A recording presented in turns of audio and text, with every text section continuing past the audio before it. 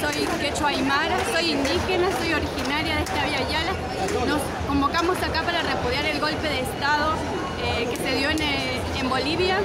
Repudiamos eh, estos actos violentos, racistas, fascistas, neoliberales que se, están que se quieren implementar nuevamente en Bolivia. Desde acá mandamos todo nuestro apoyo al Estado plurinacional, a nuestros hermanos indígenas, a nuestras hermanas originarias, y a todo el pueblo boliviano.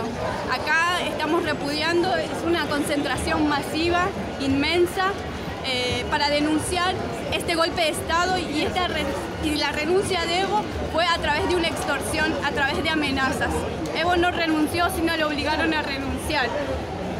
Lo obligaron a renunciar eh, intereses neoliberales para que vuelva la derecha violenta al Estado plurinacional. Así que repudiamos y denunciamos eso. Por eso estamos acá autoconvocados, con, mucha tristeza, con mucha con profundidad, eh, inmensa tristeza, pero con la dignidad bien alta y con la resistencia de que esto no, no va a pasar como antes. O sea, hay un pueblo digno, hay un pueblo soberano, ese territorio es nuestro y la vamos a defender.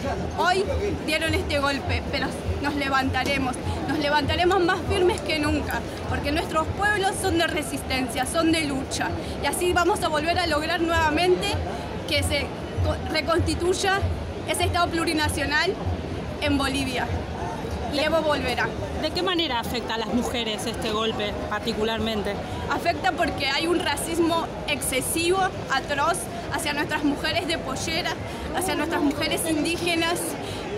Eh, esa, misoginia que, existe en Bolivia, asquerosa, sobre todo golpea a nuestras mujeres, a nuestras mujeres aymaras, a nuestras mujeres quechuas, a nuestras mujeres de pollera.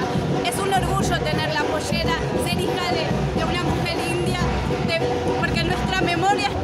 memoria ancestral y la lucha y la resistencia ancestral de un montón de mujeres.